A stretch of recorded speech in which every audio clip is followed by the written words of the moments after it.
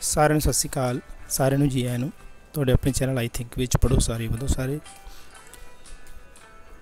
ਪਿਆਰੇ ਬੱਚਿਓ, ਮੈਨੂੰ ਪੂਰਨ ਆਸ ਹੈ ਕਿ ਸਾਰੇ ਬੱਚੇ ਬਿਲਕੁਲ ਠੀਕ ਠਾਕ ਹੋਵੋਗੇ।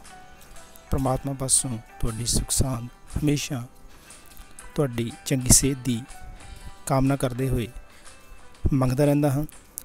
ਆਪ ਜੀ ਨਾਲ ਬੈਠੇ ਆਪ ਦੇ ਮਾਤਾ ਪਿਤਾ ਛੋਟੇ ਵੱਡੇ ਭੈਣ ਭਰਾ ਤੇ ਬਹੁਤ ਹੀ ਸਤਿਕਾਰਯੋਗ ਅਧਿਆਪਕ ਸਾਥੀ ਜਿਨ੍ਹਾਂ ਨੇ ਵੀਡੀਓ ਤੁਹਾਡੇ ਤੱਕ ਪਹੁੰਚਾਈ ਹੈ। ਉਹਨਾਂ ਦਾ ਮੈਂ ਦਿਲ ਦੀਆਂ ਗਹਿਰਾਈਆਂ ਤੋਂ ਧੰਨਵਾਦ ਕਰਦਾ ਹਾਂ। ਬਹੁਤ ਬਹੁਤ ਸਵਾਗਤ ਕਰਦਾ ਹਾਂ।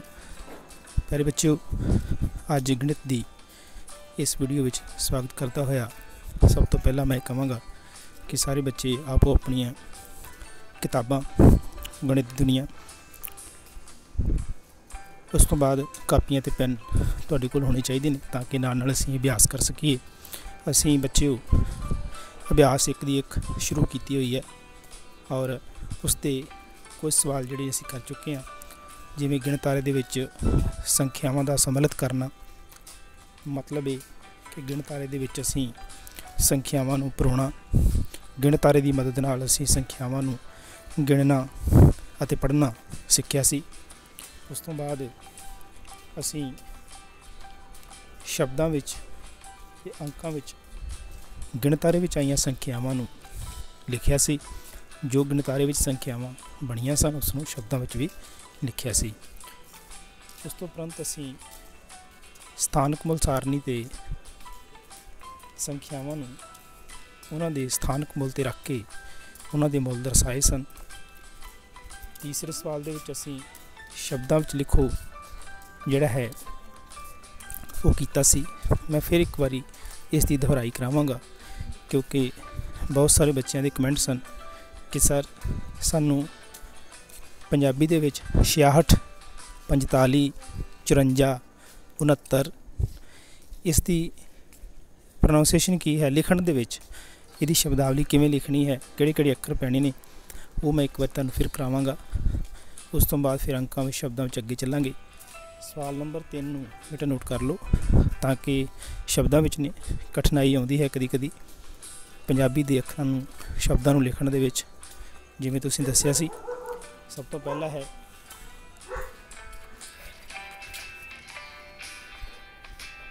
ਦੋ ਹਜ਼ਾਰ ਚਾਰ ਸੌ ਬਾਹਠ। ਤੇ ਬੱਚਿਓ 2000 ਦਾ ਤੁਹਾਨੂੰ ਪਤਾ ਹੀ ਹੈ 2000 ਕਿਵੇਂ ਲਿਖਣਾ ਹੈ। ਉਸ ਤੋਂ ਬਾਅਦ 400 ਇਹ ਵੀ ਪਤਾ ਹੈ। 62 ਬੱਬੇ ਕੰਨਾ ਹਾਹਾ ਠੱਠਾ 62 ਠੀਕ ਹੈ। ਦੂਸਰਾ 20 ਸਵਾਲ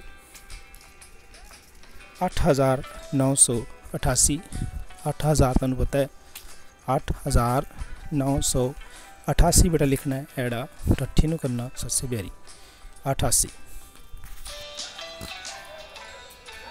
ਇਸ ਤੋਂ ਅੱਗੇ ਹੈ 19000 50 ਸੰਖਿਆਵਾਂ ਨੂੰ ਪੜ੍ਹਨਾ ਮੈਂ ਤੁਹਾਨੂੰ ਸਿਖਾਤਾ ਸੀ ਸਿਰਫ ਆਪਾਂ ਹੁਣ ਇਸ ਨੂੰ ਸ਼ਬਦਾਂ ਵਿੱਚ ਲਿਖ ਰਹੇ ਹਾਂ 19000 ਤੁਹਾਨੂੰ ਪਤਾ ਹੀ 19 ਕਿਵੇਂ ਲਿਖੀਦਾ ਹਜ਼ਾਰ ਵੀ ਪਤਾ ਹੈ ਕਿੰਨੇ ਲਿਖੀਦਾ 19000 ਤੇ 50 ਦਾ ਵੀ ਤੁਹਾਨੂੰ ਪਤਾ ਹੈ। ਇਸ ਤੋਂ ਅੱਗੇ ਹੈ। 33006 ਤੇ 33 ਵੀ ਤੁਹਾਨੂੰ ਪਤਾ ਹੈ, ਹਜ਼ਾਰ ਵੀ ਕਿਵੇਂ ਲਿਖਣਾ ਹੈ। 33000 ਤੇ 6 ਦਾ ਵੀ ਤੁਹਾਨੂੰ ਪਤਾ ਹੈ।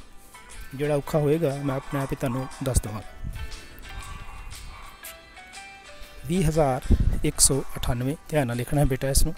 ਪਹਿਲਾਂ ਲਿਖਣਾ ਹੈ 20000 198 ਐੜਾ ਠੱਠੇ ਨੂੰ ਕੰਨਾ ਨੰਨਾ ਵਾਵੇ ਲਾਂ ਤੇ ਬਿੰਦੀ 98 20198 ਬੇਟਾ ਮੁਸ਼ਕਲ ਆਵੇ ਤਾਂ ਵੀਡੀਓ ਨੂੰ ਥੋੜਾ ਜਿਹਾ ਬੈਕ ਕਰਕੇ ਤੁਸੀਂ ਫੇਰ ਲਿਖ ਸਕਦੇ ਹੋ ਵਰਨਾ ਵੀਡੀਓ ਬਹੁਤ ਜ਼ਿਆਦਾ ਲੰਬਾ ਹੋ ਜਾਏਗਾ ਵੀਡੀਓ ਦੀ ਸਾਰਥਕਤਾ ਫਿਰ ਨਹੀਂ ਰਹਿੰਦੀ ਇਸ ਤੋਂ ਅੱਗੇ ਹੈ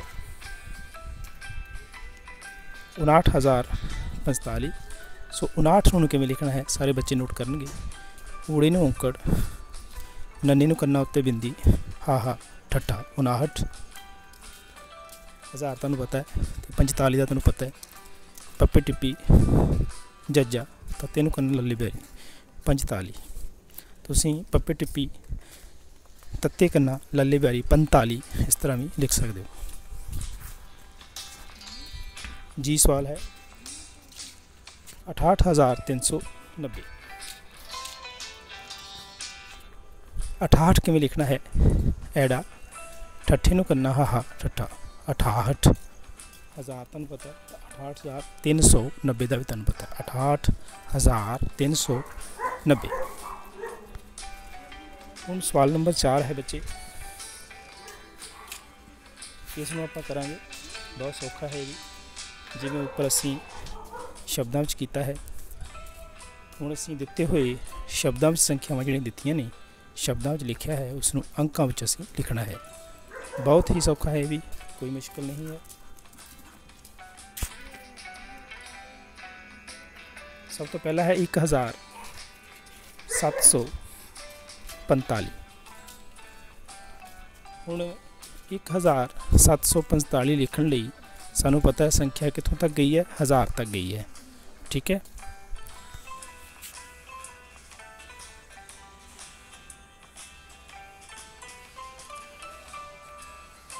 ਇਹ ਸੰਖਿਆ ਗਈ ਹਜ਼ਾਰ ਤੱਕ। ਆਪਾਂ ਚਾਰ ਸਿਫਰਾਂ ਲਿਖ ਲਈਆਂ। ਇਕਾਈ, ਦਹਾਈ, ਸੈਂਕੜਾ ਤੇ ਹਜ਼ਾਰ। ਹੁਣ ਪਹਿਲਾ ਹੈ 1745 1000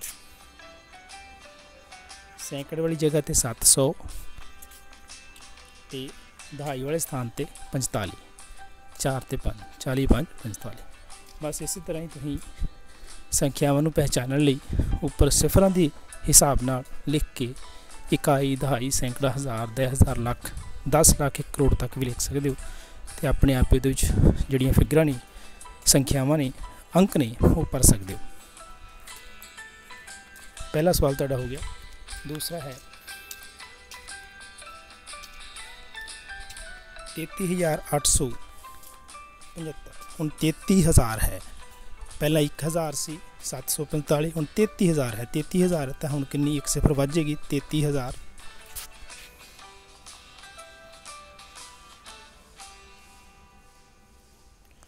ਹੁਣ ਦੇਖੋ ਬੱਚੇ 33875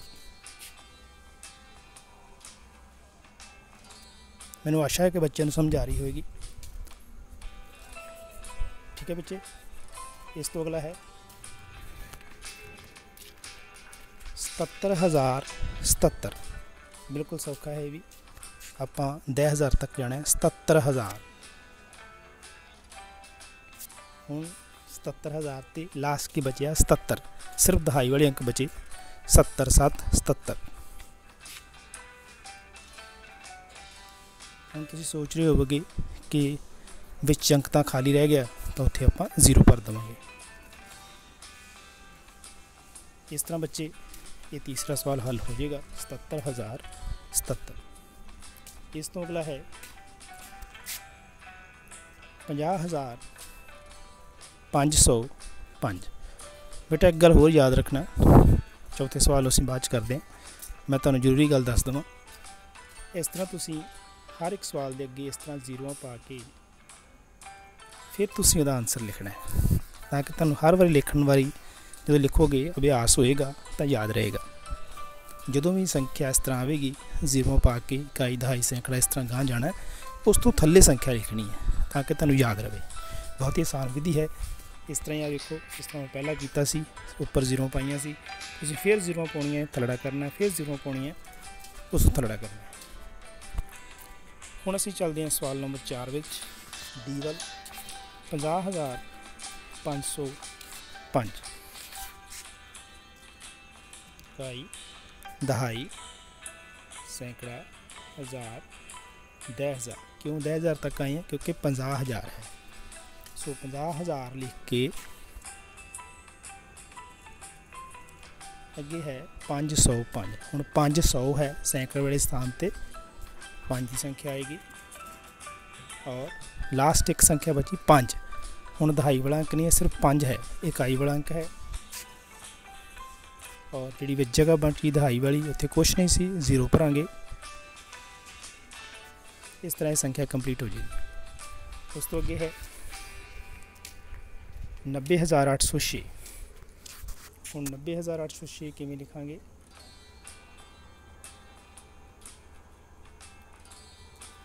ਇਸ ਤਰ੍ਹਾਂ 10000 ਤੱਕ ਜਾਵਾਂਗੇ। ਹੁਣ ਪਹਿਲਾਂ 90000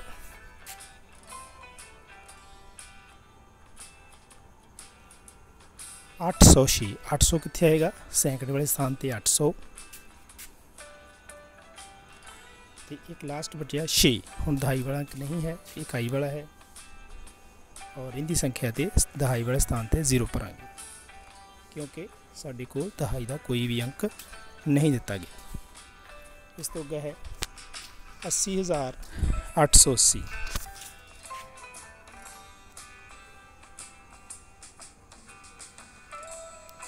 10000 ਤੱਕ ਜਾਵਾਂਗੇ ਕਿਉਂਕਿ 80000 ਹੈ ਭਰ ਦਵਾਂਗੇ 80000 880 ਬਹੁਤ ਸਿੰਪਲ ਸੀ ਅਸੀਂ ਭਰਤਾ ਹੁਣ ਲਾਸਟ ਤੇ ਸਾਡੇ ਕੋਲ ਇੱਕ ਸੰਖਿਆ ਬਚੀ 1 ਲੱਖ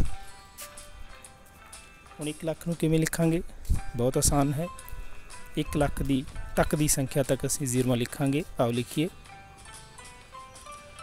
ਇਕਾਈ, ਦਹਾਈ, ਸੈਂਕੜਾ, ਹਜ਼ਾਰ ਦਸ ਹਜ਼ਾਰ 1 ਲੱਖ। ਹੁਣ ਉਹਨਾਂ ਨੂੰ ਪੁੱਛਿਆ ਵੀ ਕਿੰਨਾ ਹੈ? 1 ਲੱਖ। ਸੋ ਲੱਖ ਦੀ ਜਗ੍ਹਾ ਤੇ ਆਪਾਂ 1 ਪਾ ਦਾਂਗੇ। ਬਾਕੀ ਸਾਰੇ ਜਗ੍ਹਾ ਤੇ ਉਸੇ ਤਰ੍ਹਾਂ ਹੀ ਜ਼ੀਰੋ ਆ ਜਾਣਗੇ। ਔਰ ਯਾਦ ਰੱਖਣਾ 1 ਲੱਖ ਨਾਲ 5 ਸਿਫਰਾਂ ਪੈਂਦੀਆਂ ਨੇ। ਇਸ ਗੱਲ ਨੂੰ ਯਾਦ ਰੱਖ ਸਕਦੇ ਹੋ।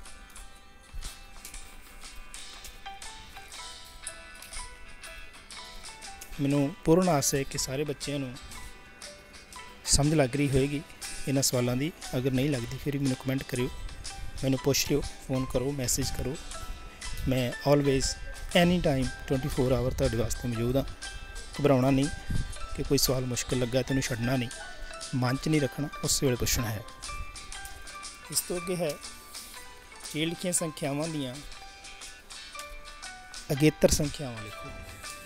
ਮੈਂ ਤੁਹਾਨੂੰ ਜਿਸ ਤਰ੍ਹਾਂ ਸ਼ੁਰੂ ਦੇ ਵਿੱਚ ਹੀ ਦੱਸਿਆ ਸੀ, ਜਦੋਂ ਅਸੀਂ ਗਿਣਤਾਰਾ ਤੇ ਕਰੰਸੀ ਨੋਟ ਬਾਰੇ ਗੱਲ ਕਰ ਰਹੇ ਸੀ, ਉਹਦੇ ਵਿੱਚ ਅਗੇਤਰ ਸੰਖਿਆਵਾਂ ਵੀ ਆਈਆਂ ਸੀ ਤੇ ਮੈਂ ਤੁਹਾਨੂੰ ਦੱਸਿਆ ਸੀ ਕਿ ਅਗੇਤਰ ਸੰਖਿਆ ਲਿਖਣੀ ਹੋਵੇ ਤੇ ਇੱਕ ਜਮ੍ਹਾਂ ਕਰ ਦਈਦਾ ਪਿਛੇਤਰ ਸੰਖਿਆ ਲਿਖਣੀ ਹੋਵੇ ਤੇ ਦਿੱਤੀ ਸੰਖਿਆ ਚੋਂ ਇੱਕ ਘਟਾ ਦਈਦਾ ਫਿਰ ਸੁਣੋ, ਅਗਰ ਅਗੇਤਰ ਸੰਖਿਆ ਪੁੱਛੀ ਗਈ ਹੋਵੇ, ਤਾਂ ਜਮ੍ਹਾਂ ਇੱਕ ਕਰ ਦੇਣਾ ਹੈ ਦਿੱਤੀ ਹੋਈ ਸੰਖਿਆ ਵਿੱਚ।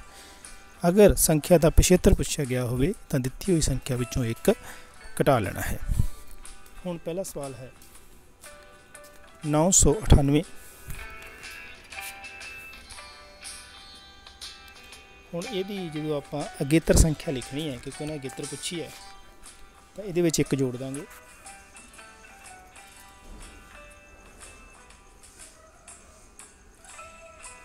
ਕਰ ਦੋ ਜਮਾ ਆ ਜਾਏਗਾ। 999 ਠੀਕ ਹੈ ਬੇਟਾ ਇਹਦਾ ਆਨਸਰ ਆ ਜਾਏਗਾ 999 ਹੁਣ ਇਸੇ ਤਰ੍ਹਾਂ ਹੀ ਜੋੜਦੇ ਜਾਓ ਸਾਰਿਆਂ ਵਿੱਚ ਇੱਕ ਇੱਕ ਜੋੜਾਂਗੇ 10000 ਵਿੱਚ ਇੱਕ ਜੋੜਾਂਗੇ ਤਾਂ ਬਣ ਜਾਏਗਾ 10001 ਤੁਸੀਂ ਖੁਦ ਹੁਣ ਜੋੜ ਕਰ ਸਕਦੇ ਹੋ ਬੜਾ ਹੀ ਆਸਾਨ ਹੈ ਕੋਈ ਲਿਖਣ ਦੀ ਲੋੜ ਨਹੀਂ ਇਸੇ ਤਰ੍ਹਾਂ ਹੀ 2018 ਵਿੱਚ ਇੱਕ ਜੋੜਾਂਗੇ ਤੇ ਬਣ ਜਾਏਗਾ 2019 ਇਸ ਤਰ੍ਹਾਂ ਹੀ ਇੱਕ ਸੰਖਿਆ ਜਿਹੜੀ ਮੈਂ ਤੁਹਾਨੂੰ ਦੱਸ ਰਿਹਾ ਹਾਂ, ਇਸ ਨੂੰ ਲਿਖਣ ਦੀ ਜ਼ਰੂਰਤ ਹੈ ਕਿਉਂਕਿ ਕਨਫਿਊਜ਼ਨ ਹੈ ਥੋੜੀ ਜੀ ਤੁਹਾਨੂੰ ਕਨਫਿਊਜ਼ਨ ਨਾ ਰਹੇ ਸੰਖਿਆ ਵਿੱਚ ਆਪਾਂ ਇੱਕ ਜੋੜਾਂਗੇ ਸੀ ਵਾਲੀ ਡੀ ਵਾਲੀ ਸੰਖਿਆ ਵਿੱਚ। ਹੁਣ ਅਸੀਂ ਜੋੜ ਕਰਾਂਗੇ ਤਾਂ ਇਹ ਬਣ ਜਾਏਗਾ 9 ਤੇ 1 10 ਇੱਕ ਇੱਕ ਹਾਸਲ ਉੱਪਰ ਆਈ ਜਾਏਗਾ। 9 ਤੇ 1 10 ਫਿਰ ਹਾਸਲ ਉੱਪਰ ਆ ਗਿਆ। 9 1 10 ਫਿਰ ਕੈਰੀ ਆ ਗਿਆ। 9 1 10 ਔਰ ਲਾਸਟ ਤੇ 9 1 10 ਤੁਹਾਨੂੰ ਦੱਸਿਆ ਸੀ ਕਿ ਇਹ ਸੰਖਿਆ ਹੈ 99999 ਤਾਂ ਇੱਕ ਜੋੜ ਕੇ ਬਣ ਗਈ 1 ਲੱਖ। ਔਰ ਤੁਹਾਨੂੰ ਮੈਂ ਦੱਸਿਆ ਸੀ ਕਿ 1 ਲੱਖ ਦੇ ਵਿੱਚ 5 ਸਿਫਰਾਂ ਹੁੰਦੀਆਂ ਨੇ। ਇਸ ਤੋਂ ਅੱਗੇ ਬੇਟਾ ਸਵਾਲ ਨੰਬਰ ਸੀ। ਸੌਰੀ ਸਵਾਲ ਨੰਬਰ ਈ। 48675 ਇਹਦੀ ਅਗੇਤਰ ਬਣਾਵਾਂਗੇ ਤਾਂ ਇੱਕ ਸੰਖਿਆ ਜੋੜ ਕੇ ਬਣ ਜਾਏਗਾ 48676 ਇਸ ਤਰ੍ਹਾਂ ਬੇਟਾ, f ਵਾਲੀ ਸੰਖਿਆ ਹੈ 40009 ਇਹਦੇ ਵਿੱਚ ਇੱਕ ਜੋੜ ਦਾਂਗੇ ਅਗੇਤਰ ਬਣਾਉਣ ਲਈ। ਤਾਂ ਇਹ ਸੰਖਿਆ ਬਣ ਜਾਏਗੀ 40010 ਇਸ ਤਰ੍ਹਾਂ ਬੇਟਾ ਹੁਣ 75 ਸੰਖਿਆਵਾਂ ਨੇ। ਇਹਦੇ ਵਿੱਚੋਂ ਆਪਾਂ ਇੱਕ ਇੱਕ ਘਟਾਈ ਜਾਵਾਂਗੇ, ਤਾਂ ਉਹ 75 ਸੰਖਿਆ ਬਣਦੀ ਜਾਏਗੀ। ਮੇਰੇ ਖਿਆਲ ਕੋਈ ਦੱਸਣ ਦੀ ਲੋੜ ਹੈ? ਮੇਰੇ ਖਿਆਲ ਨਹੀਂ, ਕਿਉਂਕਿ ਅੱਗੇ ਆਪਾਂ ਇੱਕ ਇੱਕ ਜੋੜ ਕੇ ਬਣਾਈ ਸੰਖਿਆ, ਹੁਣ ਇੱਕ ਇੱਕ ਘਟਾ ਦੇਣੀ। ਬਹੁਤ ਹੀ ਆਸਾਨ ਹੈ, ਠੀਕ ਹੈ? ਹੁਣ ਸਾਰੀਆਂ ਸੰਖਿਆਵਾਂ ਵਿੱਚੋਂ ਤੁਸੀਂ ਇੱਕ ਇੱਕ ਸੰਖਿਆ ਘਟਾਓਗੇ। ਉਦਾਹਰਨ ਲਈ ਮੈਂ ਇੱਕ ਸਵਾਲ ਤੁਹਾਨੂੰ ਦੱਸ ਰਿਹਾ ਹਾਂ।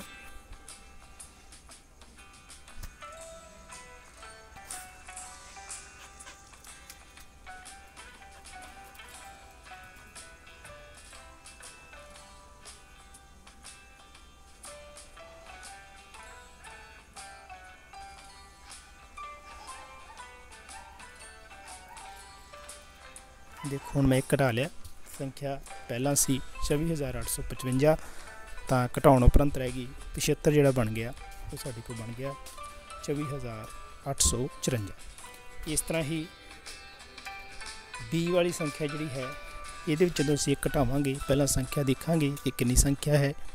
ਇਹ ਸੰਖਿਆ ਹੈ 99999 ਔਰ ਜਦੋਂ ਇੱਕ ਅਸੀਂ ਘਟਾ ਲਾਂਗੇ 75 ਬਣਾਉਣ ਲਈ ਤਾਂ ਇਹ ਬਣ ਜਾਏਗਾ 99998 ਸੰਖਿਆ ਰਹਿ ਜਾਏਗੀ ਇਸ ਤਰ੍ਹਾਂ ਹੀ ਸੀ ਹੈ 39999 ਤੇ ਜਦੋਂ ਅਸੀਂ 75 ਬਣਾਉਣ ਲਈ ਘਟਾਵਾਂਗੇ ਤਾਂ ਸੰਖਿਆ ਰਹਿ ਜਾਏਗੀ 39998 ਇਸ ਤਰ੍ਹਾਂ D 79890 ਤੇ ਜਦੋਂ ਅਸੀਂ ਇੱਕ ਘਟਾ ਲਾਂਗੇ 75 ਬਣਾਉਣ ਲਈ ਤਾਂ ਇਹ ਬਣ ਜਾਏਗੀ 79899 ਠੀਕ ਹੈ, ਧਿਆਨ ਨਾਲ ਕਰਨਾ ਇਸ ਸਵਾਲ ਨੂੰ।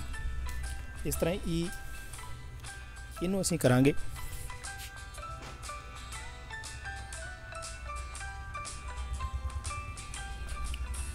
ਪੰਜਾਹ ਹਜ਼ਾਰ, ਤੇ ਇਸ ਦਾ 75 ਬਣੇਗਾ।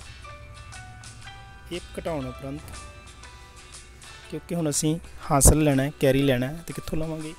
ਕਿਉਂਕਿ ਰਸਤੇ ਵਿੱਚ ਸਾਰੀਆਂ ਜ਼ੀਰੋਆਂ ਨੇ, ਪੰਜ ਕੋਲੋਂ ਲਵਾਂਗੇ।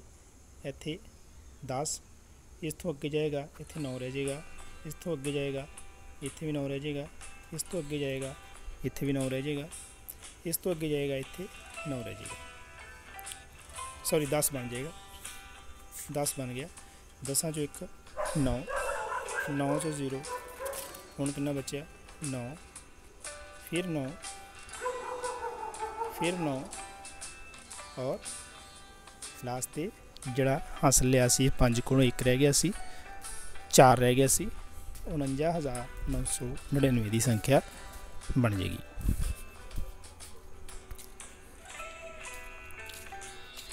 ਅੱਗੇ ਹੈ ਐਫ ਸਵਾਲ 23456 ਖੇਤਰ ਬਣਾਉਣ ਲਈ ਘਟਾਵਾਂਗੇ ਤਾਂ ਰਹਿ ਜਾਏਗਾ 23455 ਸੋ ਇਸੇ ਬੇਟਾ ਅਗੇਤਰ ਤੇ 75 ਅੰਕਾਂ ਵਿੱਚ ਲਿਖਣਾ ਤੇ ਸ਼ਬਦਾਂ ਵਿੱਚ ਲਿਖਣਾ ਜਿਹੜਾ ਅੱਜ ਅਸੀਂ ਕੀਤਾ ਆਸ਼ਾ ਕਰਦਾ ਹਾਂ ਸਾਰੇ ਬੱਚਿਆਂ ਨੂੰ ਇਹ ਵੀਡੀਓ ਬਹੁਤ ਚੰਗਾ ਲੱਗਾ ਹੋਵੇਗਾ। ਅਭਿਆਸ ਕਰਨੀ ਬਹੁਤ ਸੌਖੀ ਲੱਗੀ ਹੋਵੇਗੀ। ਕੋਈ ਮੁਸ਼ਕਲ ਪੇਸ਼ ਨਹੀਂ ਆਈ ਹੋਵੇਗੀ। ਇਹ ਵੀ ਆਸ ਮੈਨੂੰ ਹੈ ਕਿ ਸਾਰੇ ਬੱਚੇ ਨੇ ਕਾਪੀਆਂ ਤੇ ਕੰਮ ਸੋਹਣਾ ਸੋਹਣਾ ਕਰ ਲਿਆ ਔਰ ਜਾਂ ਕਰ ਲੈਣਗੇ। ਔਰ ਦਿੱਤੇ ਹੋਏ ਕੰਮ ਨੂੰ ਆਪਣੇ ਅਧਿਆਪਕਾਂ ਕੋਲੋਂ ਚੈੱਕ ਜ਼ਰੂਰ ਕਰਾਉਣਗੇ। ਉਹਨਾਂ ਦੇ ਧਿਆਨ 'ਚ ਲਿਆਉਣਗੇ ਜਾਂ ਆਪਣੇ ਮਾਤਾ ਪਿਤਾ ਵੱਡੇ ਭੈਣ ਭਰਾਵਾਂ ਕੋਲ ਵੀ ਚੈੱਕ ਕਰਾ ਸਕਦੇ ਹੋ। ਸੋ ਇਥੋਂ ਤੱਕ ਹੀ ਆਪਣਾ ਧਿਆਨ ਰੱਖਿਓ। ਹੱਥਾਂ ਨੂੰ ਬਾਰ-ਬਾਰ ਧੋਂਦੇ ਰਹੋ। ਕਰੋਨਾ ਵਾਇਰਸ ਚੱਲਦੇ ਆ ਆਪਣਾ ਧਿਆਨ ਰੱਖਦੇ ਹੋਏ ਆਲੇ ਦੁਆਲੇ ਦਾ ਘਰ ਦਾ ਸਾਰਾ ਧਿਆਨ ਤੁਸੀਂ ਰੱਖਣਾ ਹੈ। ਵੱਡੇ ਬੱਚੇ ਹੋ ਮੈਚੁਰ ਹੋ। ਸੋ ਅਗਲੀ ਵੀਡੀਓ 'ਚ ਫਿਰ ਮਿਲਾਂਗੇ। ਸਾਰਿਆਂ ਦਾ ਬਹੁਤ ਬਹੁਤ ਧੰਨਵਾਦ। ਔਰ ਇੱਕ ਗੱਲ ਦਾ ਹੋਰ ਖਿਆਲ ਕਿ ਵੀਡੀਓ ਨੂੰ ਸ਼ੇਅਰ ਜ਼ਰੂਰ ਕਰਨਾ ਹੈ।